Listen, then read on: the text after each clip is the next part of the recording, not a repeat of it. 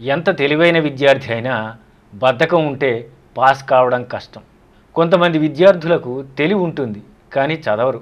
తరువాత చదవచ్చులే అని వాయిదాలు వేస్తుంటారు. నోట్సులు రాసుకోరు స్టడీ మెటీరియల్ తయారు చేసుకోరు. ఫ్రెండ్స్తో తిరుగుతూ కాలం వృధా చేస్తారు. చివరకు పరీక్షల తేదీ దగ్గర పడేసరికి గైడ్లు టెస్ట్ పేపర్లు కొని చదవడం మొదలు పెడతారు నిద్ర మానేసి తెల్లవార్లు చదువుతూనే ఉంటారు. ఒకవైపు పరీక్ష పాస్ అవుతామో లేదోనని ఆందోళన. ఒక్కసారి భారం పడేసరికి మెదడు కూడా సహకరించదు. సిలబస్ మొత్తం తక్కువ సమయంలో చదివేసి పరీక్షలు రాద్దామనుకుంటే ఫలితం అలాగే ఉంటుంది.